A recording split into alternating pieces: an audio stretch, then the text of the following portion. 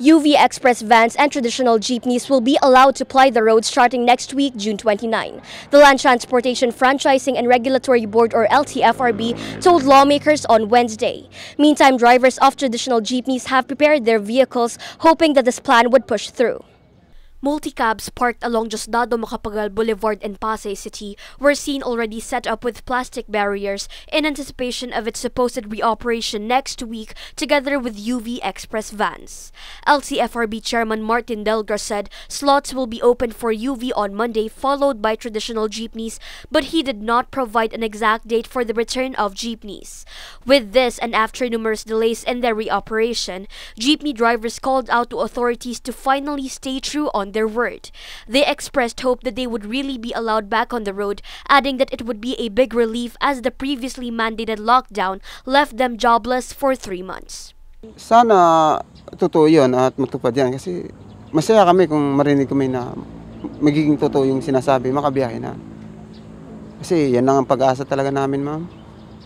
Eh, Kita mo naman kami, wala kaming talagang ibang mapagkunan kundi pagmamaneho lang ng ganyan.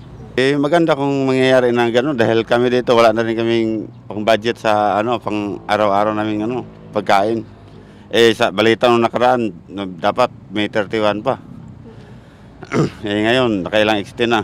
Masasabi ko lang, gusto ko makabiyahe na kami ng maayos.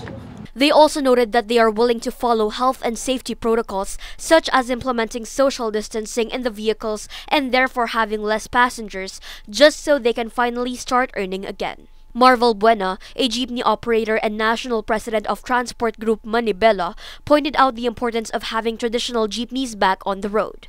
He cited that some drivers have resorted to begging in the streets, while one of the drivers he oversees was forced to leave his boarding house because he cannot anymore pay for rent. Ang kahirapan po kasi kung hindi pa magagalit yung mga congressman, hindi mo pa ipapakita ang tunay na kalagayan po ng ah, ah, ating mga driver, ang ating mga chopper, hindi pa po tayo papayagan. Nakikita naman po natin na mamalimos na yung ating mga driver sa lansangan, nangihingi na ng pagkain, hindi na alam kung saan kukuhanin yung ah, ibubuhay sa kanilang mga pamilya. Valbuena said the LTFRB has yet to provide guidelines on fare pricing, but hopes there would be a fare hike to make up with the passenger limit.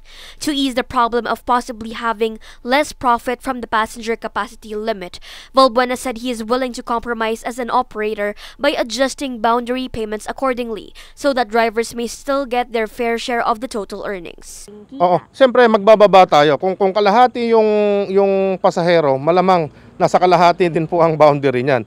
Areas under general community quarantine are currently under phase 2 of transportation resumption since June 22, where public utility buses and modern jeepneys were allowed to reoperate in addition to trains, bus augmentation services, taxis, and transport network vehicle services allowed during the first phase. Meantime, Haridan Pakay, a jeepney driver, reiterated their call to the government to let PUV drivers ply the roads once again. Tiyagan naman kami bumiyahe. Hindi lang naman kayo ang may kaldero eh. Kami rin. Gusto rin namin mabuhay. Bigay naman kayo ng pag-asa sa amin. Pabayahin niyo naman kami. For One Media Network, this is Jillian Geronimo.